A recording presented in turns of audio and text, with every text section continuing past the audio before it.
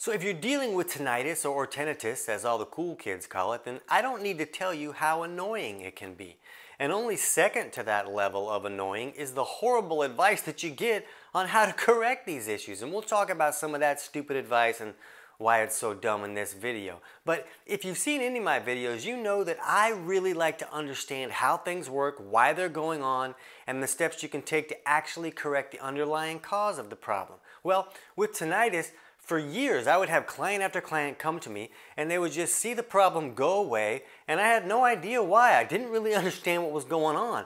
I like to understand, well, if a person's constipated, it's because the body is sending too much water to the kidneys and not enough to the bowels or this acidification process is not working and slowing the stool down. I like to understand things. So for years, I didn't understand what's going on. So in this video, I'm gonna explain to you how I was actually helping these clients and steps you can take to correct the problem so you can get rid of the hey, why don't you stop making noise in my head situation. Let's jump in.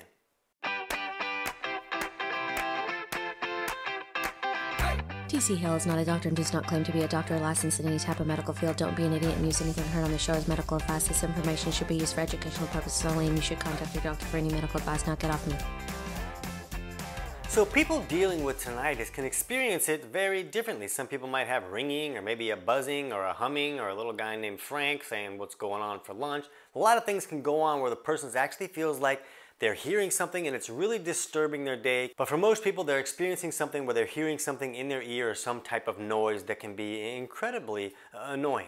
And the reality is that there's a wide variety of issues that can cause the problem. And some of them can be significantly serious and some of them aren't. But it can be issues like ototoxic medications that a person can take, which means that those are medications that can be damaging to the ear and that structure.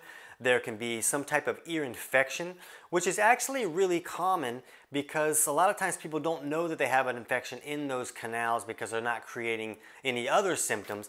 But this can be a chronic situation that's going on for a lot of people. Somebody, it can be caused by the irritations that come from smoking. Uh, it can come from um, someone having compacted wax in those canals. So there's a variety of issues that can create this. But in this video, I'm going to talk about the two most common causes for tinnitus and how they come about and steps you can take to correct those issues. And you've probably already tried a lot of things because the advice out there is quite bad. It's quite annoying how stupid the advice is. The most common advice you see in the medical world or from a doctor is that, oh, you need to lower your salt intake and your caffeine. So now I'm sleeping through the day and all the food tastes bad, but I'm still miserable. So that really didn't work out for me. And they've actually shown that there is no indication that this advice is valid in any way and that these reducing these things has any type of impact on the tinnitus in any way. And I'll put a lot of links uh, down in the description below for some of the studies and data stuff that I've found to help you understand where I got this information from.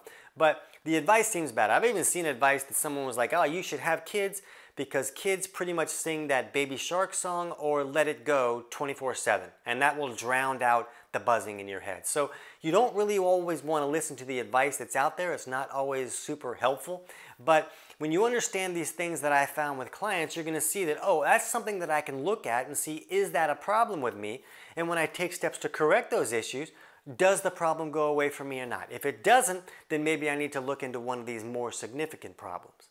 So one thing that the medical world does agree on is that there does seem to be a connection between major gut dysbiosis and tinnitus. And they kind of feel like, well, the inflammation from the dysbiosis in the gut is creating problems for the neurotransmitters that go to the brain into that ear area, or it's creating a neuroinflammatory response that's creating this symptom of the buzzing, ringing, whatever it is that you got going on. So they feel like that's basically an inflammation issue that's creating that. And most of the clients that were coming to me with this problem were not coming to me for tinnitus. They were coming to me to correct some other health issue. And I was helping them correct that problem and then the tinnitus would just go away and they would think, oh, he's just a leprechaun. That's what it is. And I didn't even know why it was improving. I don't know. You just work with me and then it goes away. That's pretty much all I had. And then what I understand now is that this inflammatory response that can come from this really troubled situation in the digestive tract can create enough inflammation that for some reason can create this symptom. And I really don't want to assume that we really understand why it's being created. I kind of want to assume that we sort of don't. But it does seem to match up with this inflammatory response and the inflammation that can come from these digestive troubles. So I was helping clients fix their digestive malfunctions because a lot of times these digestive malfunctions are actually creating a lot of these other symptoms that they were hoping to improve. And when we took the steps to correct these digestive malfunctions, that's when the ringing went away. So I was like, okay, this is really digestive related. And when we're looking at digestion, most of this dysbiosis comes about by bad guys getting in and setting up camp. And most of those bad guys come in when either stomach acid is not being produced correctly or the other side of digestion, which is the alkaline side of digestion, is bile flow is not working correctly. And it's, it's really common for someone not to be making enough stomach acid, and it's really common for someone's bile to become too thick and sticky to flow correctly. But in either of these scenarios, the digestive process doesn't work correctly. We don't have the ability to break our food down and pull all the minerals and nutrients out of the food, so we can have a lot of deficiencies that can create a lot of problems. But when we have these digestive malfunctions, we're also opening the door so the bad guys can come in and set up camp and create all of this inflammation.